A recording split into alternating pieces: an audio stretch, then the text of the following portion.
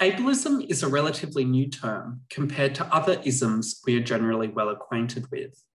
Sitting alongside sexism, racism, classism, speciesism, ageism, and other cognate terms, ableism is a belief system that results in forms of valuation, preference, and discrimination. It is often used to describe the discrimination or the negative treatment towards people with disability, but this is a little misleading. As Gregor Wolbring notes, ism words have negative and positive components, just as we discriminate for or against something.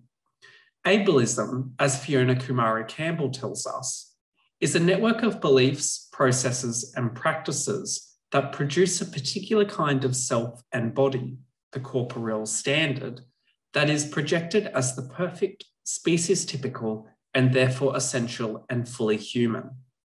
This means that ableism is the belief and attitude that the abled body, or the non disabled body, is the best, better, and preferred way of being in this world. Ableist beliefs thus produce the concept of disableism, which refers to negative attitudes towards people with disability. If we are ableist, we are interested in shoring up, whether consciously or unconsciously, the idea that ability and abledness is the preferred way of being. And if we are ableist, we are almost always disableist because ableist ways of thinking denigrate and devalue people with disability.